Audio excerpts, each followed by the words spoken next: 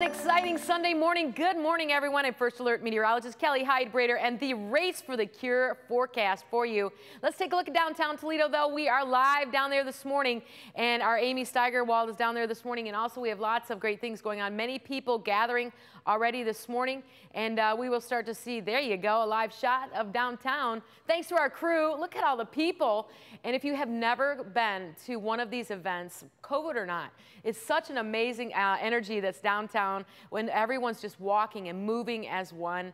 And we know we're moving for a great cause. So our whole team will be down there for you this morning. And look at this great forecast.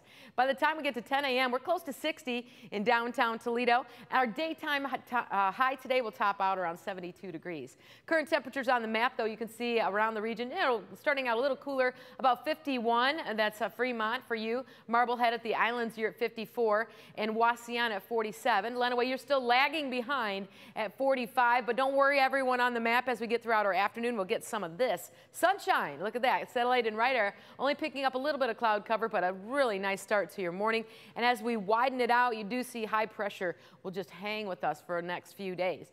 You have to go through up to northern Michigan near Traverse City and the Upper Peninsula to find a little bit of rain this morning.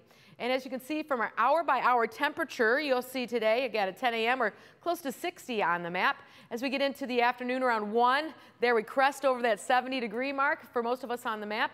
And you can see here by 4 p.m. there's your daytime high in the mid 70 degree range. Some areas sticking in the low 70s, but again, sunshine for you. As we get into the evening, look for a clear night tonight and uh, temperatures dropping down. Overnight low tonight will be around 48 degrees. And then you can see as we cruise into your Monday, almost 80 to start out your week. Now that has to make you smile as well because look at all of the sunshine and the extended forecast for you throughout the week ahead. Mid 70s for midweek. And again, bright sunshine during the day and the cooler evenings, Kaylee.